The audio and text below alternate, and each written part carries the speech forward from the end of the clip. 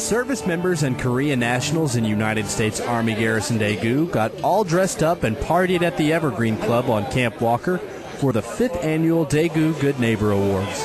Before the ceremony, the group mingled with one another, and a small group of local university students provided the background music. Once the ceremonies began, Colonel Michael Saulnier started the event off with some kind words for the Koreans in attendance. In these and in so many other ways, everyone here tonight has done so much to make us feel welcome and appreciated here in Korea. Each day, your kindness towards Americans enrich our lives and truly makes Korea the best place to live, work, and serve.